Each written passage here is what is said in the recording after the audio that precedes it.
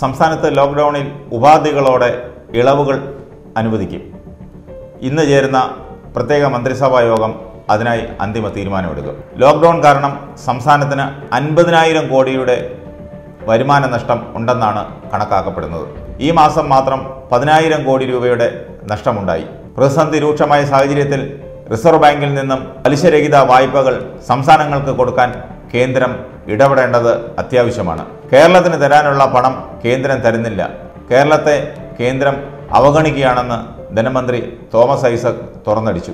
എന്നാൽ കേന്ദ്ര സംസ്ഥാന സർക്കാരുകളുടെ കോവിഡ് പ്രതിരോധ പ്രവർത്തനങ്ങൾക്ക് പൂർണ പിന്തുണ പ്രഖ്യാപിച്ച് കേരളത്തിലെ പ്രതിപക്ഷ നേതാവ് രമേശ് ചെന്നിത്തല രംഗത്തെത്തി. രമേശ് ചെന്നിത്തലയുടെയും മറ്റ് പ്രതിപക്ഷ നേതാക്കളുടെയും കഴിഞ്ഞ ദിവസങ്ങളിൽ വരെയുള്ള പ്രവർത്തനങ്ങളും പ്രസ്താവനകളും ഒട്ടേറെ വിമർശനങ്ങൾക്ക് വഴിവെച്ചിരുന്നു. കുറവുകൾ ചൂണ്ടിക്കാട്ടുന്നത് പ്രതിപക്ഷത്തിന്റെ ഉത്തരവാദിത്തമാണെന്നും വിമർശനങ്ങളോടുള്ള അസഹിഷ്ണുത മൂലം തന്നെ വ്യക്തിഗിത്വം നടത്താൻ സി പി എം സൈബർ ഗുണ്ടകളെ നിയോഗിച്ചിട്ടുണ്ടെന്നും ചെന്നിത്തല ആരോപിച്ചു. കോവിഡ് പ്രതിരോധത്തിന് കേന്ദ്ര സംസ്ഥാന സർക്കാരുകൾക്ക് പൂർണ പിന്തുണയുണ്ടെന്ന് പറഞ്ഞ രമേശ് ചെന്നിത്തല. സർക്കാരിന്റെ കുറവുകൾ ചൂണ്ടിക്കാട്ടേണ്ടത് പ്രതിപക്ഷത്തിന്റെ ഭരണഘടനാപരമായ ഉത്തരവാദിത്തമാണെന്ന് വ്യക്തമാക്കി. വിദേശ മലയാളികളെ സഹായിക്കുന്നതിന് പ്രവാസി സന്നദ്ധ സംഘടനകളുടെ സഹായത്തോടെ പാക്കേജ് തയ്യാറാക്കും. പ്രവാസികളെ നാട്ടിലെത്തിക്കുന്നതിന് മുൻഗണനാക്രമം വേണം. ലോക്ക്ഡൗണിൽ മലഞ്ചരക്ക് കാർഷിക മേഖലകൾക്ക് ചെറിയ ഇളവുകൾ നൽകണം. ഇടത്തരക്കാരുടെ ദുരിതം സർക്കാർ കാണണം. മോട്ടോർ തൊഴിലാളികളുടെ പ്രശ്നങ്ങൾ സർക്കാരിന്റെ ശ്രദ്ധയിൽപ്പെടുത്തും. കാസർഗോഡ് ഉൾപ്പെടെയുള്ള മെഡിക്കൽ കോളേജുകൾ പൂർത്തീകരിക്കുന്നതിൽ ഇടത് സർക്കാർ കാണിച്ച അലംഭാവത്തിന്റെ ഫലം കേരളം ഏറ്റുവാങ്ങിയെന്നും ചെന്നിത്തല കുറ്റപ്പെടുത്തി. അതേസമയം സംസ്ഥാനത്ത് പുതുതായി രണ്ടു പേർക്ക് കൂടി രോഗം സ്ഥിരീകരിച്ചു. കണ്ണൂർ പത്തനംതിട്ട ജില്ലകളിലാണ് രോഗം സ്ഥിരീകരിച്ചത്. ഇവർ ദുബായ് ഷാർജ എന്നിവിടങ്ങളിൽ നിന്നും വന്നവരാണ്. എന്നാൽ മുപ്പത്താറ് പേർ രോഗമുക്തി നേടി. ഇതുവരെ രോഗമുക്തി നേടിയത് നൂറ്റി എഴുപത്തൊമ്പത് പേരാണ്. ഇതുവരെ രോഗികളുടെ എണ്ണം നൂറ്റി തൊണ്ണൂറ്റിനാലായി കുറഞ്ഞു. കാസർഗോഡ് ജില്ലയിൽ രോഗികളുടെ എണ്ണം നൂറിൽ എത്തി കാസർഗോഡ് ഇരുപത്തിയെട്ട് മലപ്പുറം ആറ് കോഴിക്കോട് ഒന്ന് ഇടുക്കി ഒന്ന് എന്നിങ്ങനെയാണ് ഇന്നലെ രോഗമുക്തി നേടിയവരുടെ എണ്ണം. നിരീക്ഷണത്തിലുള്ളവരുടെ എണ്ണവും കുറഞ്ഞു. ഒരു ലക്ഷത്തി പതിനാറായിരത്തി തൊള്ളായിരത്തി നാൽപ്പത്തി ഒന്ന് പേരാണ് ഇപ്പോൾ നിരീക്ഷണത്തിലുള്ളത്. എണ്ണൂറ്റി പതിനാറ് പേർ ആശുപത്രികളിലാണ്. ഇന്നലെ നൂറ്റി എഴുപത്തി പേരെ വിവിധ ആശുപത്രികളിലാക്കി.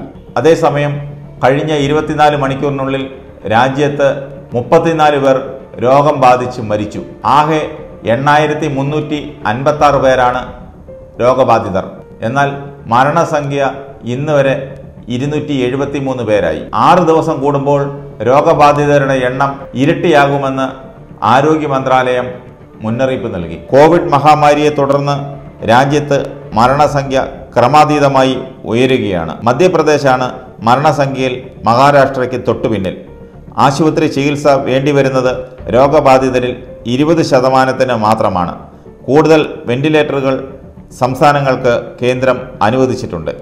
കോവിഡിനെതിരായ വാക്സിൻ വികസനം പുരോഗമിക്കുകയാണെങ്കിലും അന്തിമഘട്ടത്തിൽ എത്തിയിട്ടില്ല ഇതുവരെ ഒരു ലക്ഷത്തി എൺപത്തി ആറായിരം സാമ്പിളുകൾ പരിശോധിച്ചെന്ന് ആരോഗ്യ മന്ത്രാലയം വ്യക്തമാക്കി. ഡൽഹിയിൽ ഡോക്ടർമാരുൾപ്പെടെ നാൽപ്പത്തിരണ്ട് ആരോഗ്യ പ്രവർത്തകർക്ക് രോഗം സ്ഥിരീകരിച്ചു. നാനൂറ് ആരോഗ്യ പ്രവർത്തകർ നിരീക്ഷണത്തിലാണ്. പഞ്ചാബിലെ പട്ടിയാലയിൽ കർഫ്യൂ പാസ് ചോദിച്ചതിന് ഒരു സംഘം ആളുകൾ പോലീസിനെ ആക്രമിച്ചു. കൈക്ക് വെട്ടേറ്റ എ എസ് ഐ ഹർജിത് സിംഗിനെ അടിയന്തര ശസ്ത്രക്രിയയ്ക്ക് വിധേയനാക്കി. പ്രതികളായ ഒൻപത് പേരെ പോലീസ് ഇന്നലെ തന്നെ അറസ്റ്റ് ചെയ്തു. അതുപോലെ വൈറസ് ബാധിതയായ എഴുപത്തിരണ്ട് വയസ്സുകാരി പട്ന മെഡിക്കൽ കോളേജിൽ നിന്നും ആരോഗ്യ പ്രവർത്തകരുടെ കണ്ണ് വെട്ടിച്ച് രക്ഷപ്പെട്ടു. ഇങ്ങനെയൊക്കെ ആണെങ്കിലും ദേശീയ ലോക്ക്ഡൗൺ നീട്ടുന്നതിന് ഇന്ന് ഔദ്യോഗികമായ ഒരു പ്രഖ്യാപനം കേന്ദ്രത്തിൽ നിന്നുണ്ടായേക്കും. കഴിഞ്ഞ ദിവസം പ്രധാനമന്ത്രി നരേന്ദ്രമോദി സംസ്ഥാനങ്ങളിലെ മുഖ്യമന്ത്രിമാരുമായി നടത്തിയ ചർച്ചയുടെ അടിസ്ഥാനത്തിലാണ് ഇന്ന് തീരുമാനം ഔദ്യോഗികമായി പ്രഖ്യാപിക്കുന്നത്. കൂടുതൽ ഇളവുകളോടെ മൂന്ന് മേഖലകളായി തിരിച്ച് ലോക്ക്ഡൗൺ നീട്ടാനാണ് നീക്കം. സുരക്ഷിതമായ ബിസിനസ് സംരംഭങ്ങൾക്കും വ്യവസായ കാർഷിക മേഖലകൾക്കും ഇളവ് നൽകിയേക്കും. കേന്ദ്ര മന്ത്രാലയങ്ങളുടെ പ്രവർത്തനവും ഭാഗികമായി തുടങ്ങും. കേന്ദ്ര മന്ത്രിമാരും മുതിർന്ന ഉദ്യോഗസ്ഥരും ഓഫീസിൽ ഇന്നു മുതൽ വരുമെന്നാണ് സൂചന. ഏതായാലും ഈ മാസം മുപ്പതാം തീയതി വരെ ലോക്ക്ഡൗൺ ദേശീയ തലത്തിൽ നീട്ടുമെന്നുള്ളത് ഉറപ്പാണ്. അങ്ങനെ നീട്ടിയേ പറ്റൂ. നീട്ടണമെന്നാണ് ലോകാരോഗ്യ സംഘടന വരെ പറഞ്ഞിട്ടുള്ളത്.